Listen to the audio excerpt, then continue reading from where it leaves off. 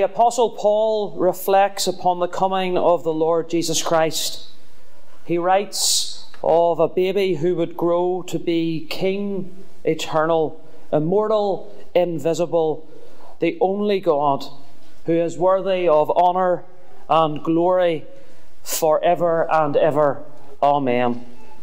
Tonight we gather to sing praises to the God who is shown to us in Jesus and to remember his coming as an answer to a great promise and his promise still to dwell with us through the twists and turns of our lives and to one day return in glory and splendour to bring his kingdom with him. Tonight, we remember, worship, and honour Jesus Christ. Let us pray.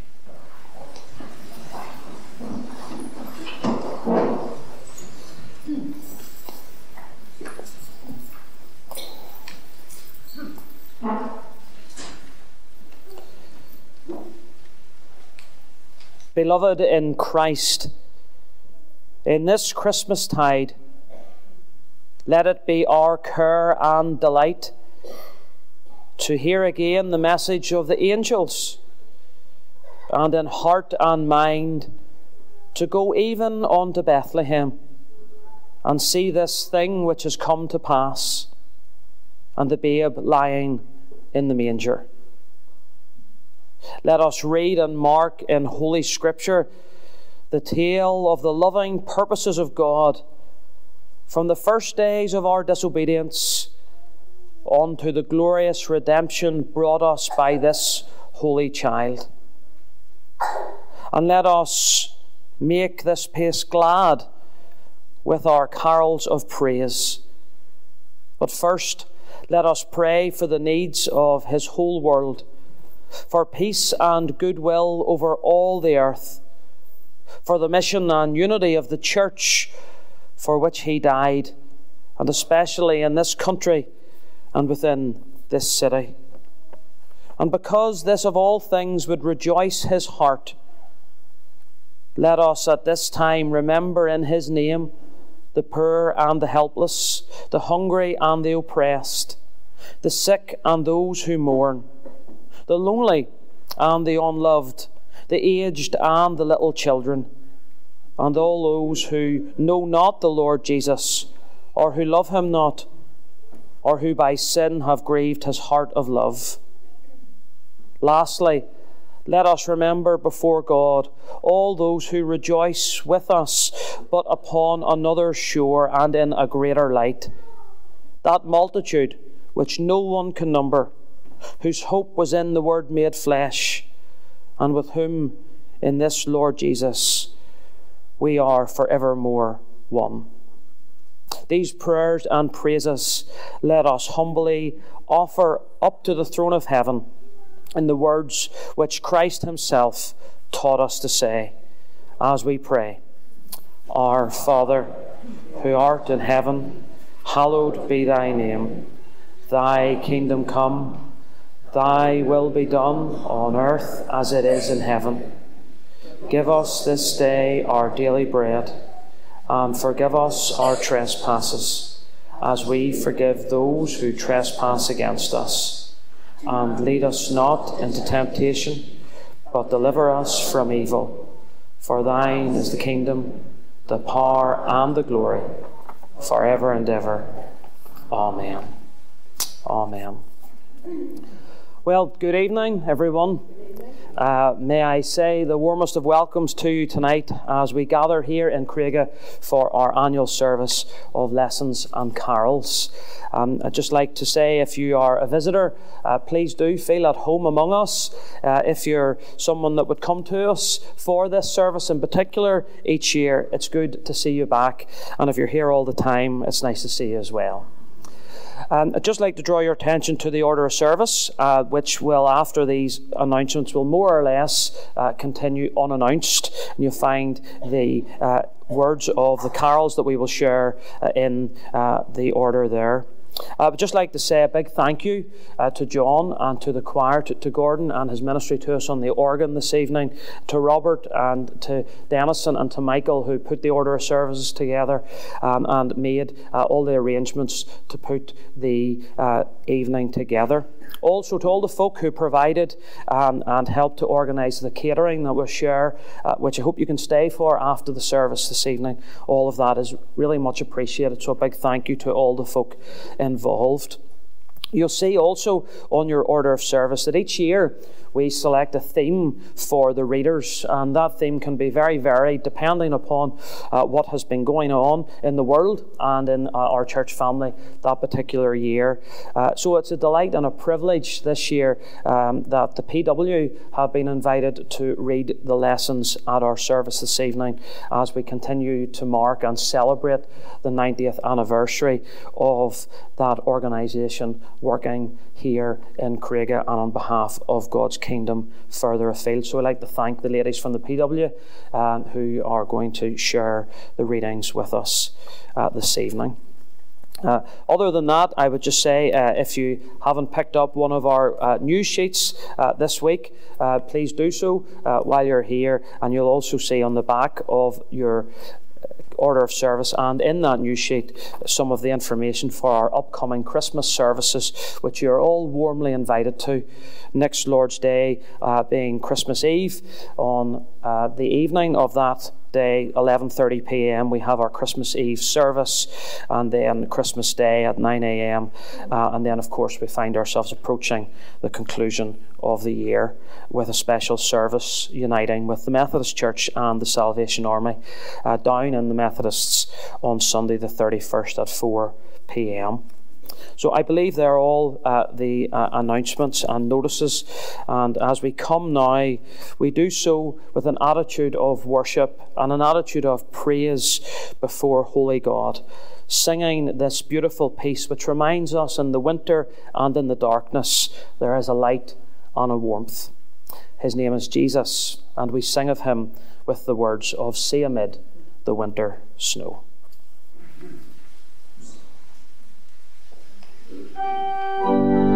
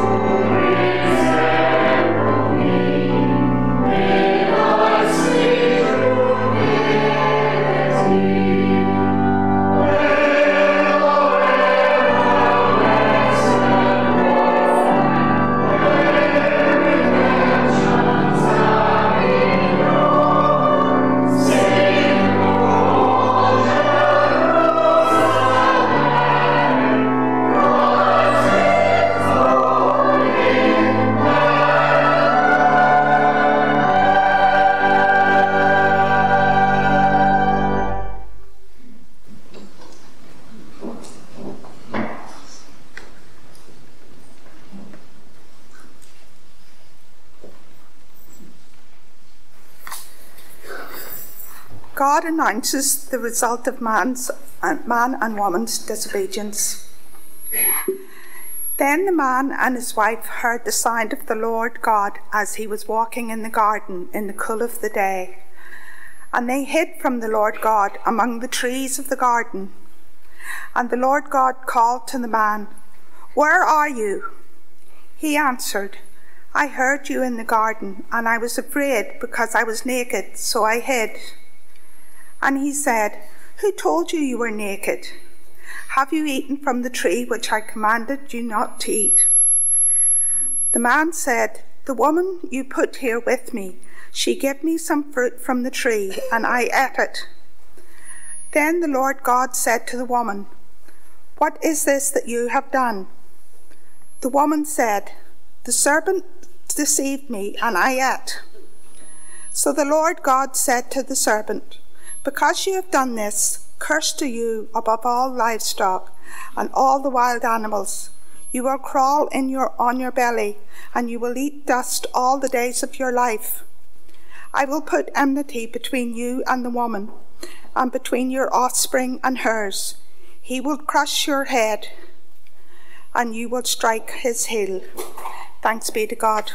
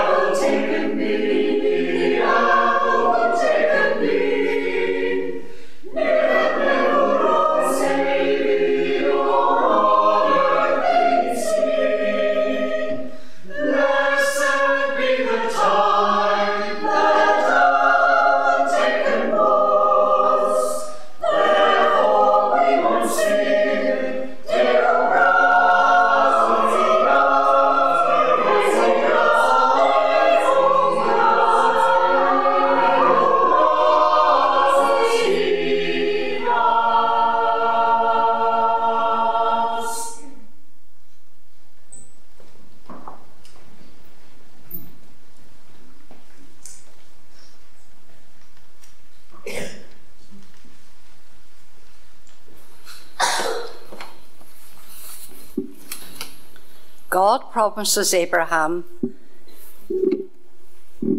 that the nations of the earth will be blessed through his descendants. The angel of the Lord called to Abraham from heaven a second time and said, I swear by myself, declares the Lord, that because you have done this and have not withheld your son, your only son, I will surely bless you and make your descendants as numerous as the stars in the sky and as the sand on the seashore. Your descendants will take possession of the cities of their enemies, and through your offspring all nations on earth will be blessed because you have obeyed me. Thanks be to God.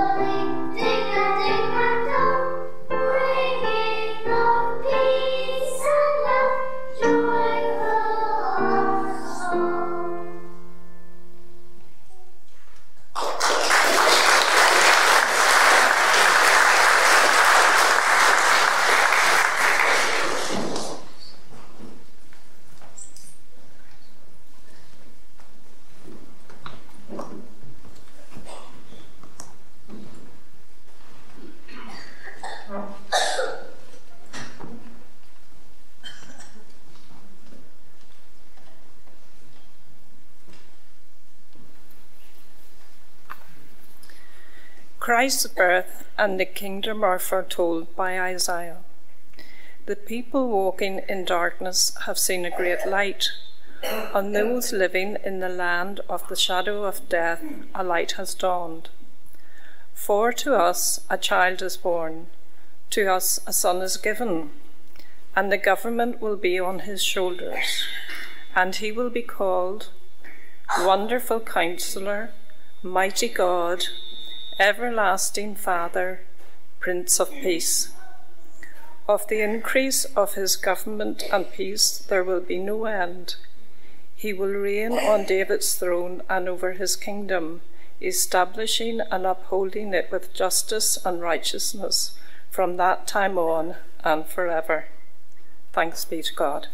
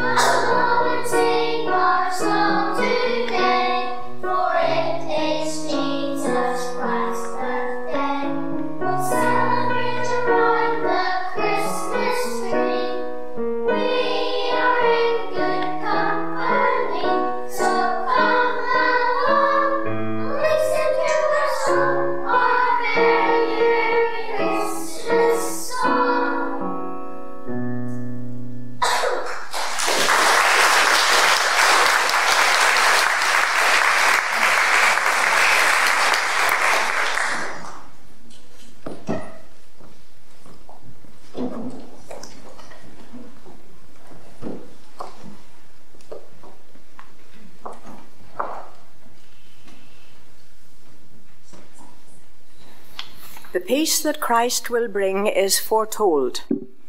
A shoot will come up from the stump of Jesse, from his roots a branch will bear fruit. The Spirit of the Lord will rest on him, the Spirit of wisdom and of understanding, the Spirit of counsel and of power, the Spirit of knowledge and of the fear of the Lord. And he will delight in the fear of the Lord. He will not judge by what he sees with his eyes or decide by what he hears with his ears. But with righteousness he will judge the needy. With justice he will give decisions for the poor of the earth. He will strike the earth with the rod of his mouth. With the breath of his lips he will slay the wicked. Righteousness will be his belt, and faithfulness the sash around his waist. The wolf will live with the lamb, the leopard will lie down with the goat, the calf and the lion and the yearling together, and a little child will lead them. The cow will feed with the bear, their young will lie down together, and the lion will eat straw like the ox. The infant will play near the hole of the cobra, and the young child put his hand into the viper's nest. They will neither harm nor destroy on all my holy mountain, for the earth will be full of the knowledge of the Lord as the waters cover the sea. Thanks be to God.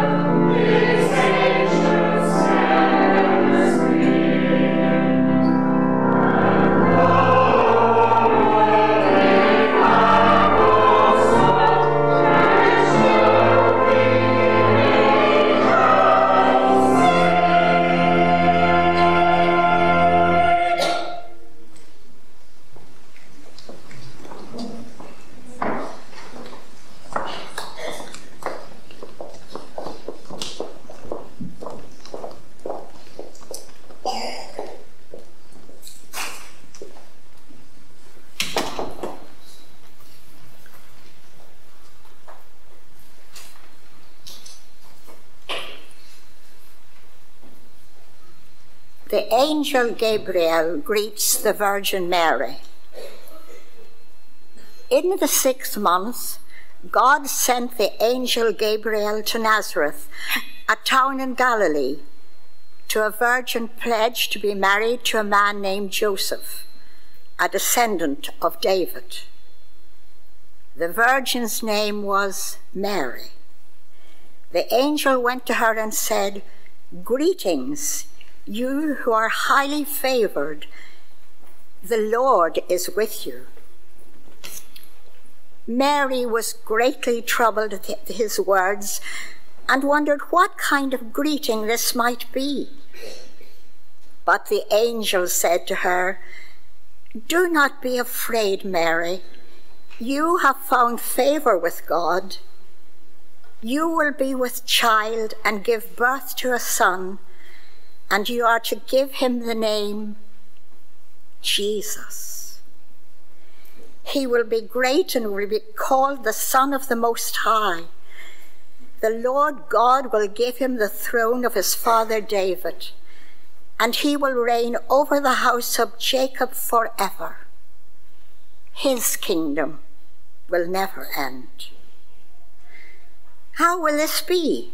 Mary asked the angel, since I am a virgin.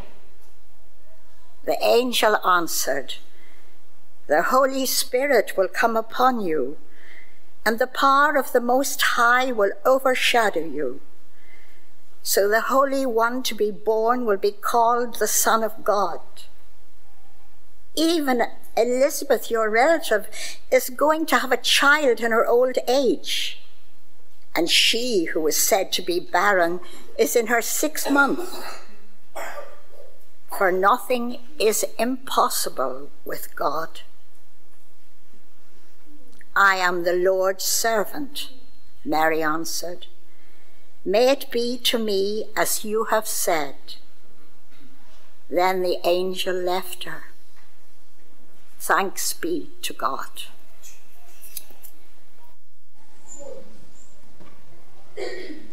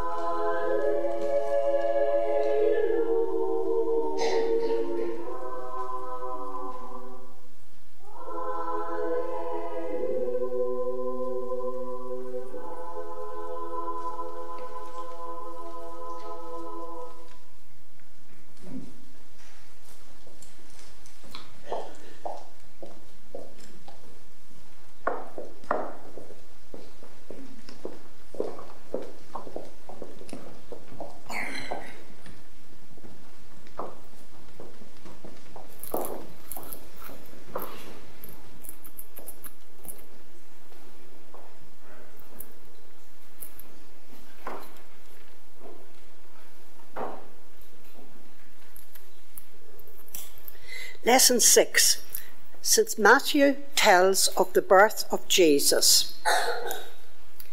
This is how the birth of Jesus Christ came about. His mother Mary was pledged to be married to Joseph, but before they came together, she was found to be with child through the Holy Spirit.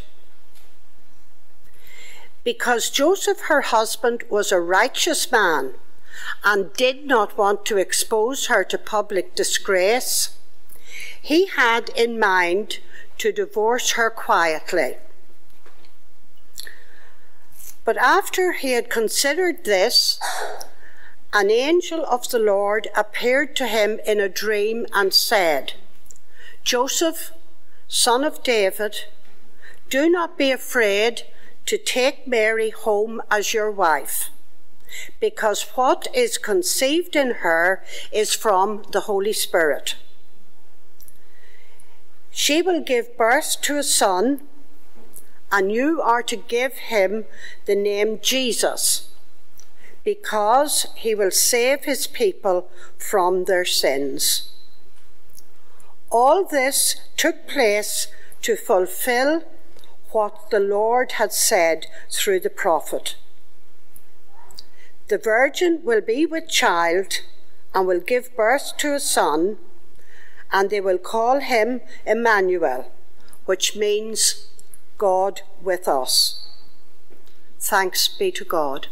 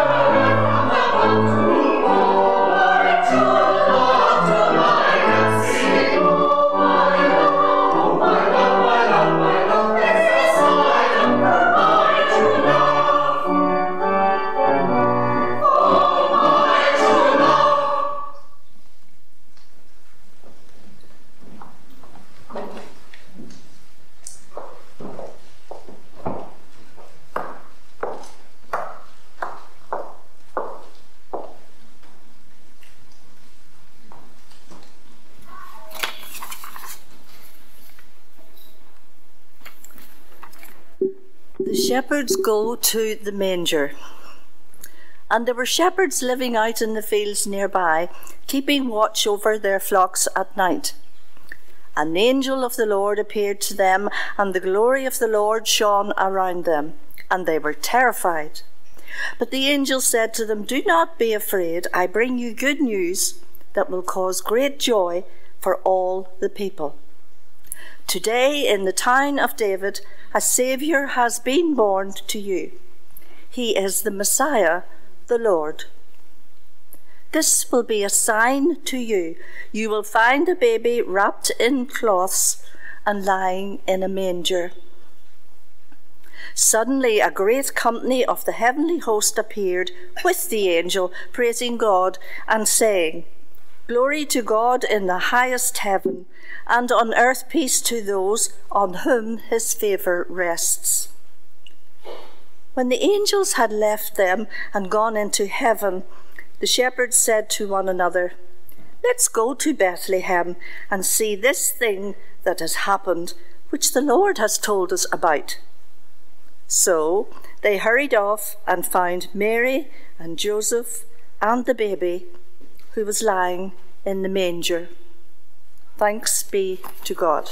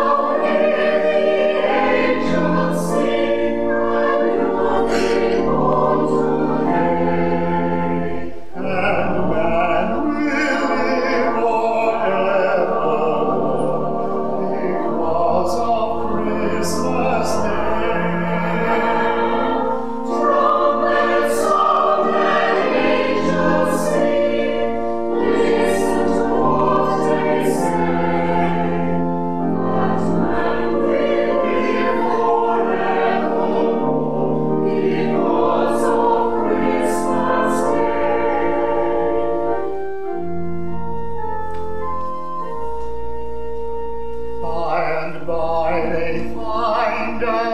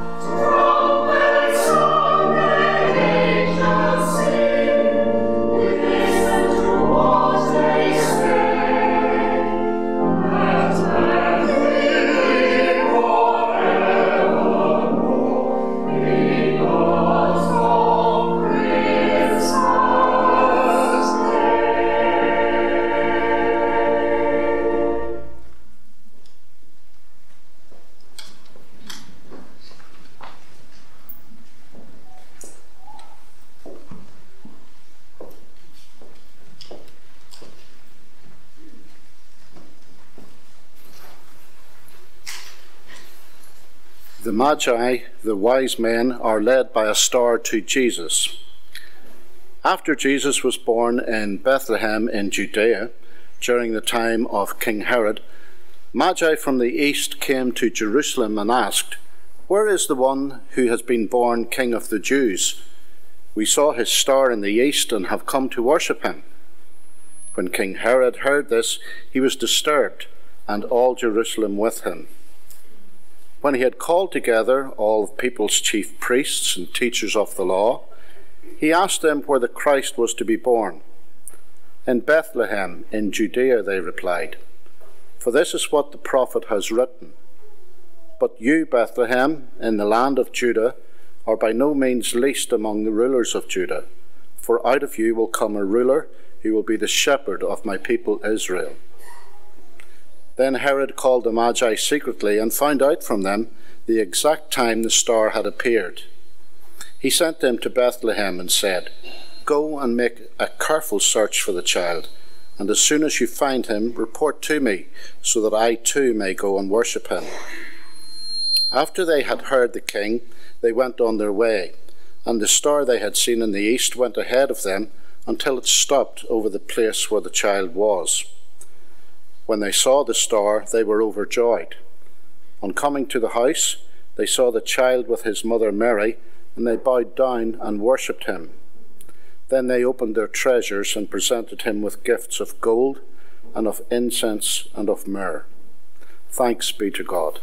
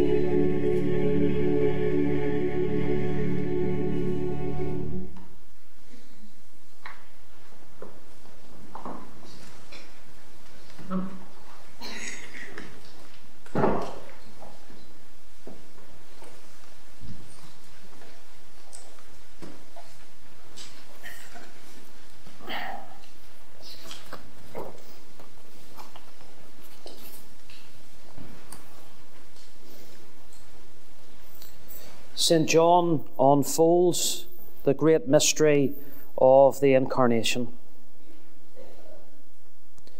In the beginning was the Word, and the Word was with God, and the Word was God. He was with God in the beginning. Through him all things were made. Without him nothing was made that has been made. In him was life, and that life was the light of men. The light shines in the darkness, but the darkness has not understood it. There came a man who was sent from God. His name was John.